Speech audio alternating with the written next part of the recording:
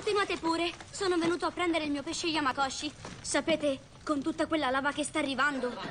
Sì, lo so, abbiamo combinato un guaio. Fidati, se potessimo rimediare lo faremmo. Ci vediamo al porto?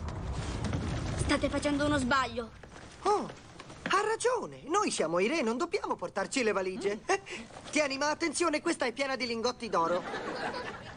Ragazzi, potete fare due cose per salvarci. Sbrigati, vorremmo trovare una barca tutta per noi. La prima, gettarvi nel vulcano offrendovi in sacrificio. Gesto molto nobile, entrambi naturalmente. La seconda? Ecco, il grande libro dice che c'è un altro rubino nel lato oscuro. Un secondo rubino. Perché nessuno ce ne ha mai parlato? Forse perché nessuno vi ama quanto il caro cugino Lenny. Trovate il rubino e l'isola sarà salva. Re a colloquio. Ti fidi di Larry? Non si chiama Lenny? Ne sei proprio certo? A me sembra più un Larry. Sono Lenny e il vulcano brontola.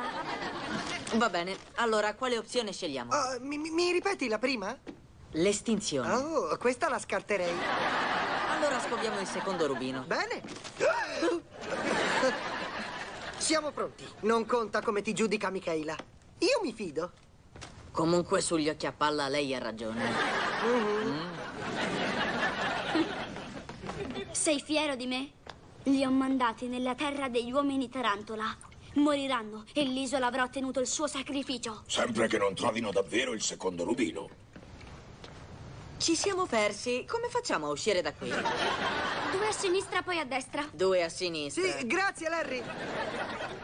In effetti sembri proprio un Larry.